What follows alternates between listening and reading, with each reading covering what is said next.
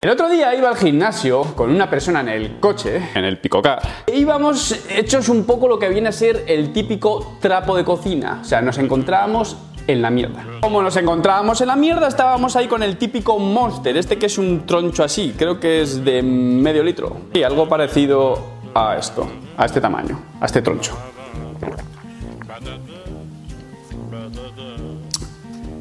La escena era graciosa porque íbamos ahí dándole que te pego a la buena droga porque queríamos sacar un buen entreno y el cuerpo no dejaba buenas sensaciones y estábamos dándole ahí a la cafeína y aferrándonos a ella como si fuera pues un salvavidas. La cosa es que la otra persona viendo esta escena dantesca coge y me dice, esto de la cafeína es como el dopaje de los naturales. Yo me quedé así y dije, pues es verdad. Y gracias a esa frase, estamos aquí. Si te paras a pensar, la cafeína es la droga estrella para los naturales. Bueno, la droga estrella y la única en la mayoría de los casos. Y sí, técnicamente la cafeína es una droga muy segura, pero droga. A nadie le extraña cuando en Instagram se sube historias, ¿no? De un monster del troncho este que os he dicho anteriormente y ponen pre-workout. Y en plan aquí, venga, muy bien, te damos un pin. Mucha gente hace eso, pre-workout. Vale, bien. No sé qué quieren que les digamos. Bien. ¿Tomas un monster antes de entrenar? Bien. No sé por qué me meto con la peña si luego yo subo las cosas más estúpidas del mundo. Como veo que el uso de cafeína es muy cotidiano y está muy normalizado dentro del fitness, pues quiero hablar sobre el tema, pero no desde un punto de vista teórico, sino empírico. Quiero hablar de mi experiencia con esta buena droga.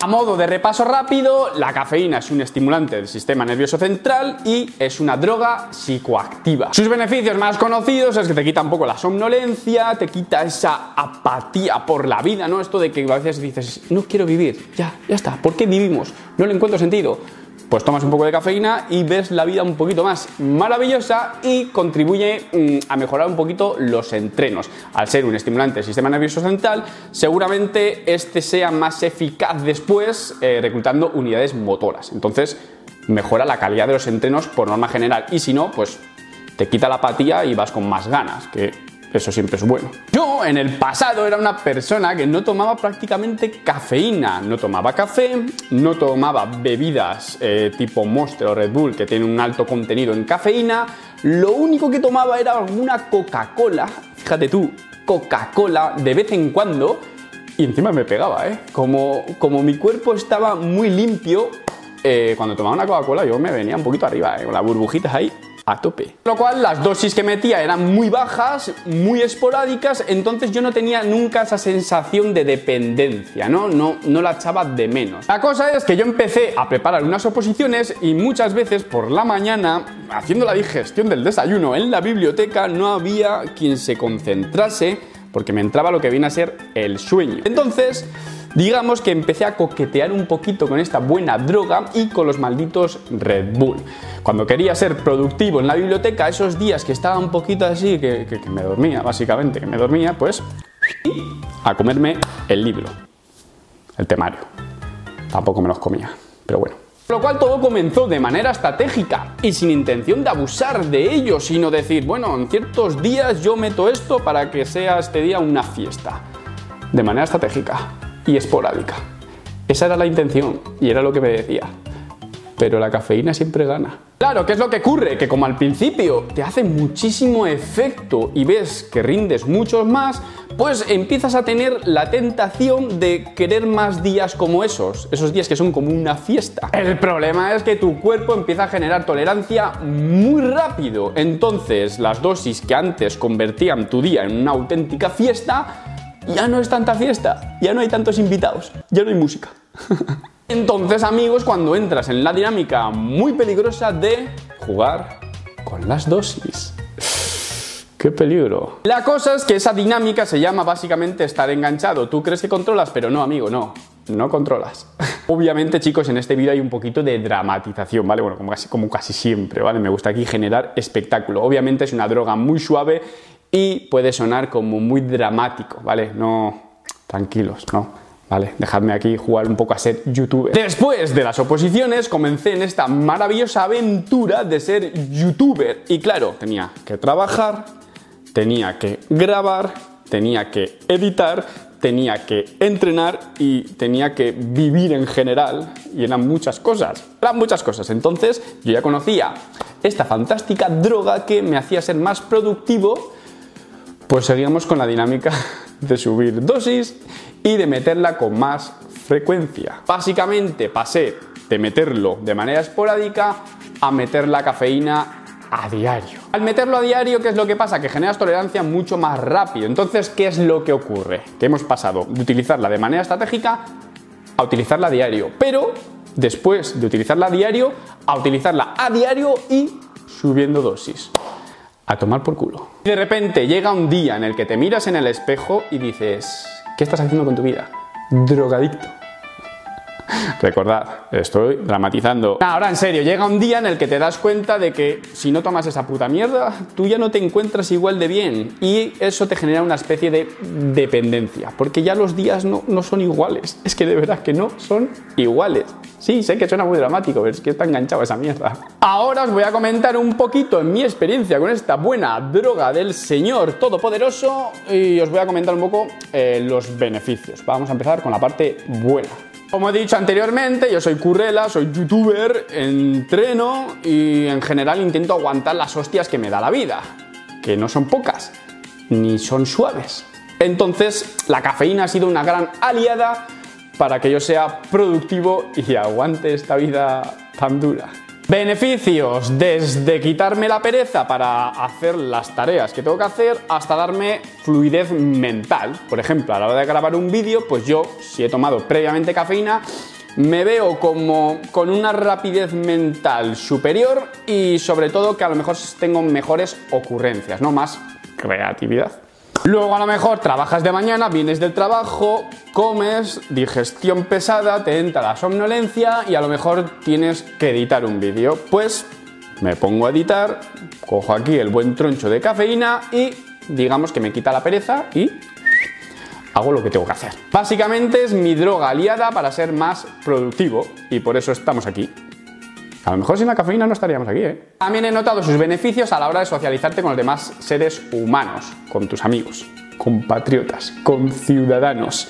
Básicamente, si tomas cafeína y tienes que hacer algún tipo de actividad con tus amigos, pues te ves un poquito como con más ganas, más participativo y en general pues disfrutas más del día. A la hora de los entrenamientos yo sí que la noto de que vas ya enchufado desde el principio. En el calentamiento ya estás enchufado, ya estás activo. Cuando yo no tomaba cafeína notaba que a lo mejor esa activación me entraba casi a mitad de entreno y en cambio con la cafeína pues yo ya desde el calentamiento ya estoy ahí en plan, dame peso, dame más peso y vas a tope. Empecemos chicos con los efectos negativos. Si me animo también a hacer este vídeo es porque hace poco sufrí las consecuencias de meter dosis relativamente altas de cafeína. Llevaba un par de semanas que estaba durmiendo menos de lo habitual, en torno a 5 horas, cuando yo soy una persona que soy un poco lirón y suelo dormir en torno a 8 horas o incluso 9 si tengo la conciencia tranquila y no me he metido con el dinamita.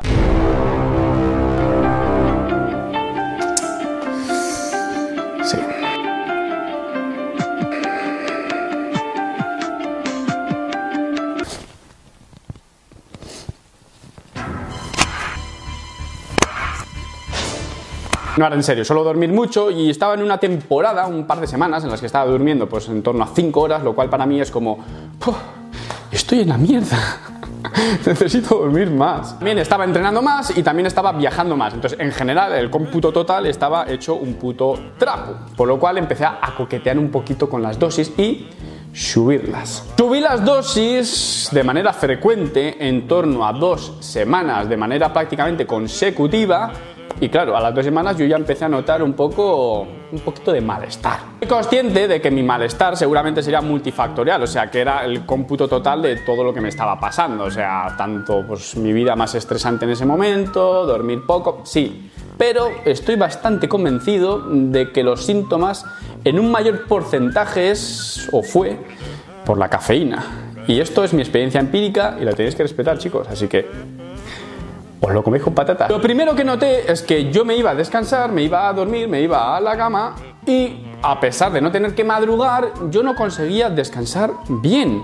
A lo mejor me dormía, y me despertaba muchas veces durante la noche y tenía una sensación como un poco de ansiedad, un poco de nerviosismo en el cuerpo, como que el cuerpo no terminaba de relajarse para descansar, sino que estaba como permanentemente activado, como que a, pesar de estar durmiendo seguía como activado, no terminaba de relajarse. Y a lo mejor me daban 6 horas durmiendo y me despertaba, aunque no tuviera que madrugar, me despertaba y ya una vez despierto no conseguía dormir más. Después por el día esa sensación no se disipaba, seguía teniendo como el cuerpo en un estado de nerviosismo.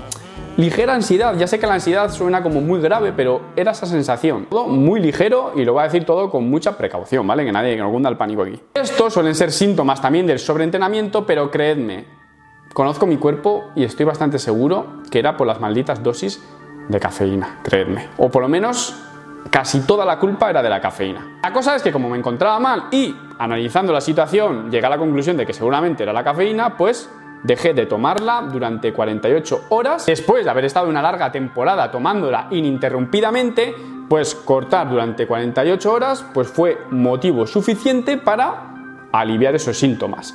A las 48 horas volví a empezar a meter cafeína porque quería otra vez ser productivo, llevar mi vida normal, pero volví a dosis muy bajas. Sé que muchos vais a estar pensando, diciendo en los comentarios, pico, 48 horas no es tiempo suficiente para limpiarla del organismo o lo que viene a ser purgarla. Lo sé, pero para mí fue tiempo suficiente como para aliviar o incluso eliminar esos síntomas, ese nerviosismo y empecé a descansar muchísimo mejor. Otra complicación que he visto yo en mi experiencia con la cafeína es la supuesta deshidratación que puede llegar a producir o puede llegar a ser partícipe. Y digo supuesta porque por lo visto no se ha demostrado del todo, pero popularmente se dice que la cafeína deshidrata. En mi experiencia, aunque no se haya demostrado esto, yo sí opino que la cafeína ayuda a deshidratarte un poco. Si entrenas duro, tomas bastante cafeína, necesitas una buena hidratación. Esto puede parecer muy sencillo, ¿no? Esto de la hidratación. Así, tu sentido común te dice, bueno, necesitas hidratarte bien, toma, bebe más agua. Pero no, a veces con beber más agua no es suficiente. A veces tienes que jugar con ciertos minerales y en mi experiencia me ha ocurrido eso. No por beber más agua terminaba de hidratarme bien, yo seguía teniendo síntomas de que no estaba bien hidratado. Por lo cual, en mi experiencia, he tenido que jugar con algunos minerales. Y el último, ya vamos a dejar de darle palos a la pobre cafeína, que es una droga fantástica y nos hace ser emprendedores y nos vamos a hacer todos ricos, como el señor Titan. Otra complicación que he visto es que puede afectar en la absorción del hierro, de este mineral tan importante. Y sí, sé que la absorción del hierro es multifactorial. Hay una implicación de varios factores, pero creo que la cafeína puede tener un papel bastante relevante en complicaciones con dicha absorción. Ya estaría chicos, esta es mi experiencia con esta fantástica droga y tened cuidado con las dosis y tened en cuenta que a lo mejor también para sacarla más partido de vez en cuando tenéis que hacer como una especie de ciclado, ¿no? En plan una semana o dos semanas donde reduces drásticamente las dosis o incluso no tomas nada para cuando vuelvas a tomarla con dosis más pequeñas vuelvas a tener bastantes beneficios. Y no me enrollo más, os ha hablado vuestro calvo de confianza, espero que os haya gustado mucho el vídeo, el que haya aguantado hasta aquí, muchas gracias. Directo a la boca, sea chico o chica. Y como siempre os digo, muchas gracias por verme, os mando un saludo, un abrazo y hasta luego.